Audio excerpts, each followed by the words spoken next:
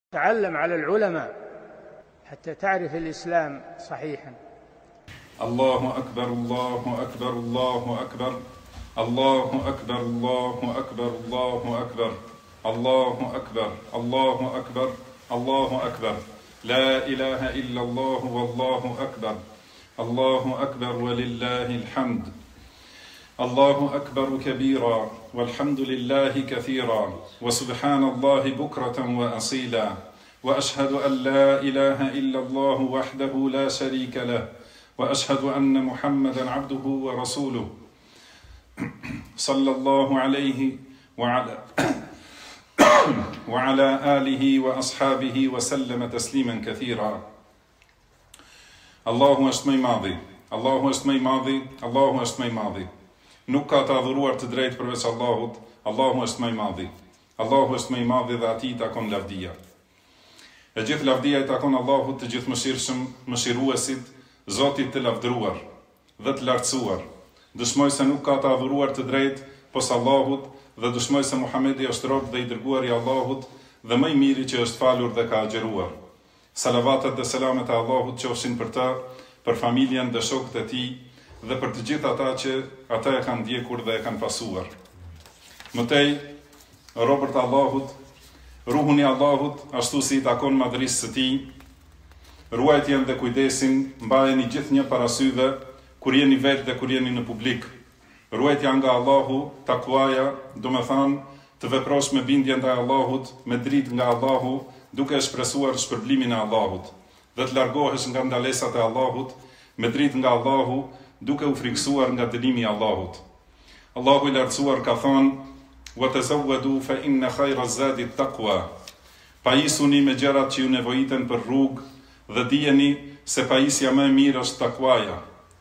Wattaquni ya ulil albab, Prandaj, kini, druhuni prej meje, o njerëz të mençur. Dijeni se takuaja nënkupton që njeriu të nxitojë për të arritur faljen dhe kënaqësinë e Allahut, duke bërë vepra të mira dhe duke u larguar prej gjynaheve. Para se të mbarojë afati dhe të vijë llogaridhënia dhe marrja e shpërblimit dhe dënimit.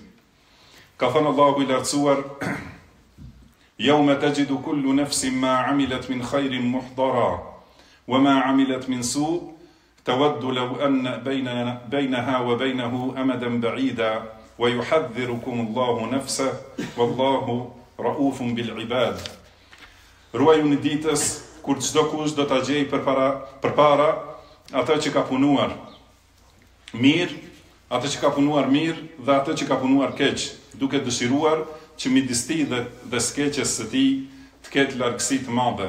Allahu ju paralajmëron që t'i ruheni vetes së tij. Allahu është i butë dhe i mëshirshëm me robërit e vet. O muslimanë! Ruhuni të mos bëni shirk dhe të mos bini në shirk. Shirku është mëkati më i madh, është anulues i Islamit dhe e nxjerr njeriun nga feja. Shirku nuk falet asnjëherë nëse njeriu vdes pa u penduar prej tij. Ai i asgjëson të gjitha veprat e mira që i ka bërë njeriu dhe atij i ndalohet të hyjë në Xhennet, kurse vendbanimi i tij i përhershëm do të jetë Xhehenemi. Prej shirkut është t'i drejtohet adhurimi i lutjes tjetërkujt pos Allahut. Disa njerëz u luten njerëzve si ata dhe i dëgjon duke thënë, M'i largo prej brengat, o i Dërguari i Allahut, më ndihmo, o bedevi, më ndihmo, oj teqe, më jep rrugëdalje, o evlia, e kështu me radhë, ose fjalë të ngjashme. Allahu i Lartësuar na ka ndaluar t'i lutemi kujtdo tjetër pos Tij. Ka thënë, Fela ted'u me'allahi ahada, Mos iu lutni askujt krahas Allahut. Pejgamberi sallallahu alejhi wa sallam ka thënë: "Men mata wa huwa yad'u min duni Allahi niddan, dakhala an-nar." Kush vdes duke qenë se lut tjetër kënd pos Allahut, do të hyjë në zjarr. Transmeton Buhariu. Allahu është më i madhi, Allahu është më i madhi, Allahu është më i madhi. Nuk ka të adhuruar me të drejtë pos Allahut. Allahu është më i madhi, Allahu është më i madhi dhe Atij i takon lavdia. Kini frikë Allahut dhe kujdesuni për namazet e obliguara, pasi falja e namazit është kufiri i cili e ndan robin nga kufri. Pejgamberi sallallahu alejhi ve sellem ka thënë, Al-ahdu alladhi bejnena ve bejnehum es-salah, femen tarakeha fekad kefer, Dallimi mes nesh dhe atyre është namazi, kush e lë namazin, ai ka bërë kufër. Omeri radijallahu anhu ka thënë, Dijeni se nuk ka hise në Islam ai i cili e braktis namazin. Abdullah ibn Mes'ud radijallahu anhu ka thënë, Kush nuk falet, nuk ka fe. Robër të Allahut, ruhuni prej bidateve, ruhuni prej shpikjes së bidateve, veprimit të tyre, thirrjes së njerëzve në bidat dhe përhapjes së bidateve. Bidati është njëri prej harameve më të vrazhda, dhe më i rrezikshmi për fenë e njeriut. Pejgamberi sallallahu alejhi ve sellem ka thënë: "Wa iyyakum wa muhdathatil umur, fa inna kulla muhdathatin bid'a, wa kulla bid'atin dalala, wa kulla dalalatin fi an-nar." Ruhuni prej gjërave të shpikura në fe, sepse secila shpikje në fe është bidat, secili bidat është devijim, dhe secili devijim është në xhehenem. Abdullah ibn Omer, radhiyallahu anhuma, ka thënë, Secili bidat është devijim, edhe nëse njerëzve u duket i mirë. Kini kujdes dhe ruhuni nga përçarja në fe. Mos u ndani në parti, grupe, medhhebe dhe tarikate. Kjo është një ndër ndales, ndër, ndër ndalesat më të rënda dhe dëmeve më të mëdha për fenë, për jetesën e kësaj bote dhe për një për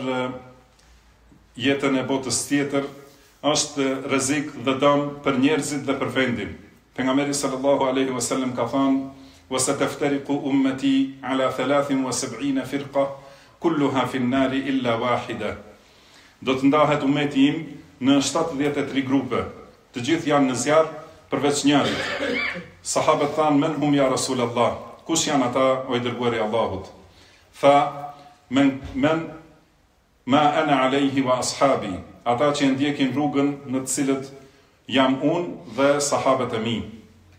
Robër të Allahut, ruhuni prej thirrësve të sekularizmit, liberalizmit, ateizmit dhe femohimit. Ruhuni prej thirrësve të humbjes së identitetit të muslimanit si musliman. Ruhuni prej thirrësve të homoseksualizmit, shthurrjes morale, turpërisë dhe mëkateve.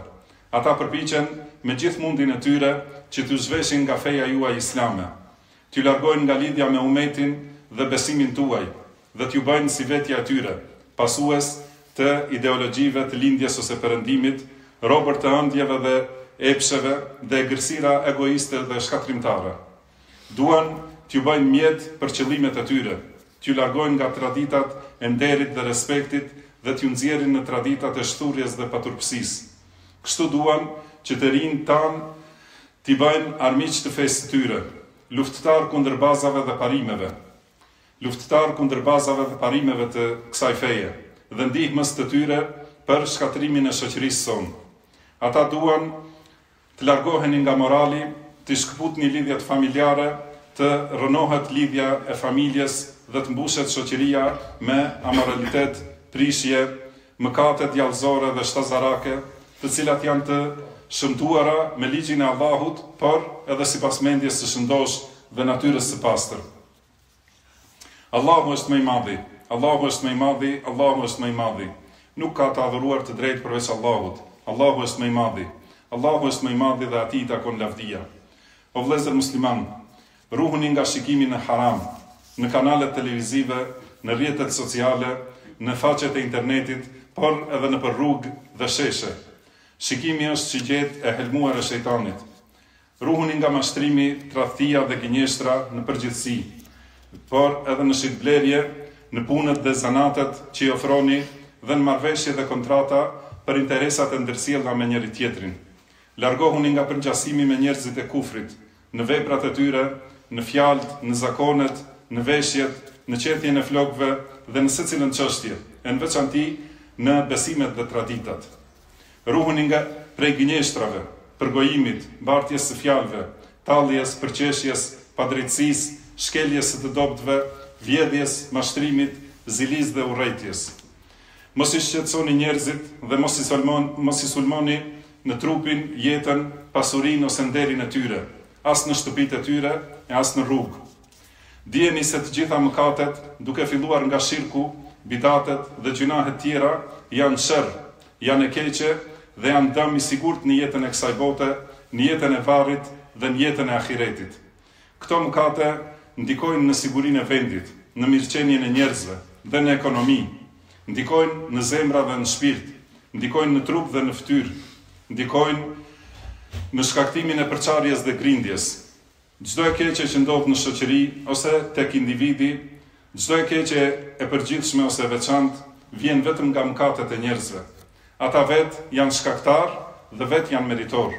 Allahu i Lartësuar ka thënë, Dhahara al-fesadu fi al-berri wal-bahr, bima kasabat aydi an-nas, liyudhiqahum ba'da alladhi 'amilu, la'allahum yarji'un. Shkatërrimi në tokë dhe në det është shfaqur si pasojë e punëve të këqija të njerëzve, kështu që Allahu do t'i bëjë të shijojnë pjesë nga ajo që kanë punuar, me qëllim që ata të kthehen në përmirësim. O vëllezër besimtarë, ditët dhe netët e Ramazanit ikën.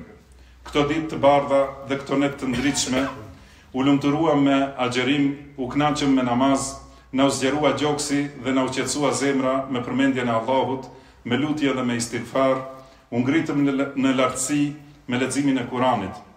Pastaj erdhi Bajrami me dritën, bukurinë, lumturinë dhe gëzimin e tij. Bajrami është shpërblim për agjëruesit, nderim për adhuruesit dhe gëzim për bamirësit. Allahu i Lartësuar ka thënë, Walitukmilu l-iddata walitukebbiru Allahe ala ma hadakum wa la'allakum tashkurun. Ai dëshiron që ta plotësoni numrin e ditëve të agjërimit dhe ta madhroni Allahun. Ta madhroni Allahun në fund të agjërimit, për shkak se ju ka drejtuar në rrugë të drejtë, e që ta falënderoni atë. Bajrami është një prej dhuntive më të bukura që Allahu ua ka dhënë robërve të Tij. Prandaj, ruajeni pastërtinë e vetvetes, vazhdoni ta pastroni shpirtin nga urrejtja dhe grindja, që ta fitoni faljen e Zotit tuaj. Bëhuni dhe ju falës dhe të mëshirshëm. Bëhuni sikur nuk i vëreni gabimet dhe rrëshqitjet e njerëzve dhe shfaqeni afërsinë dhe dashurinë.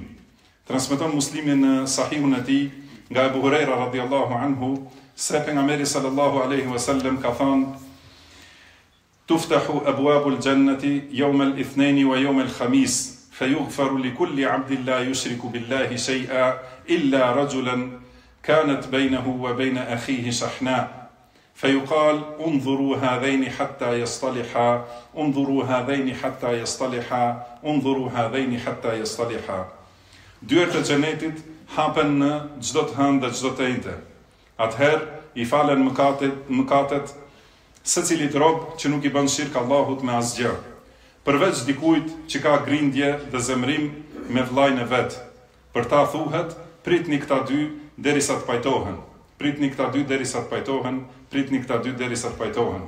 Domethënë, nuk u falen mëkatet përderisa janë të grindur.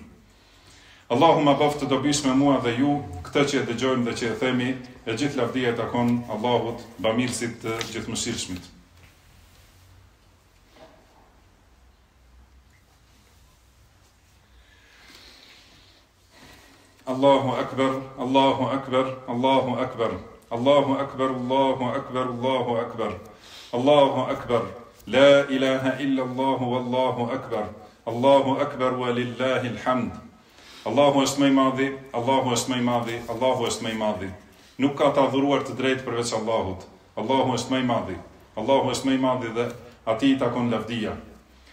Vëllezër muslimanë, falënderoni Allahun që jua mundësoi ta plotësoni agjërimin dhe namazin e natës, luteni Atë që t'jua pranojë ato dhe t'jua falë mangësitë dhe gabimet, sepse Allahu është Bujar, Falës dhe Mëshirues.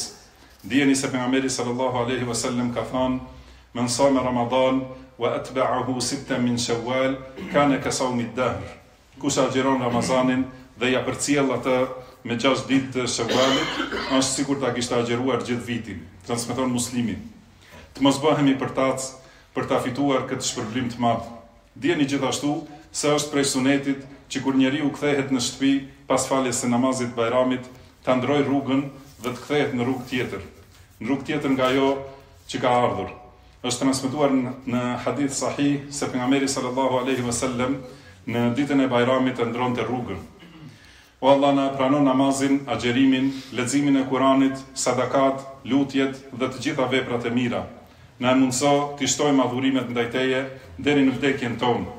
Na e bëj Bajramin gjithnjë Na i bëj Bajramet gjithnjë festa të gëzimit, lumturisë, mirëqenies, sigurisë, qetësisë, përparimit dhe besimit. O Allah, ruaji muslimanët, gjakun e muslimanëve dhe nderin e muslimanëve në secilin vend, largoje çdo brengë të tyre dhe çdo ngushticë, na fal neve, prindërve tanë dhe të gjithë muslimanëve dhe muslimaneve, besimtarëve dhe besimtareve, të gjallëve dhe të vdekurve.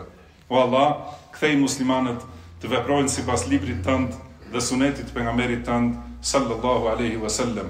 Ruaji prej fitneve dhe trazirave të dukshme dhe të fshehta. Vëllezër të dashur, selefët ua uronin njëri-tjetrit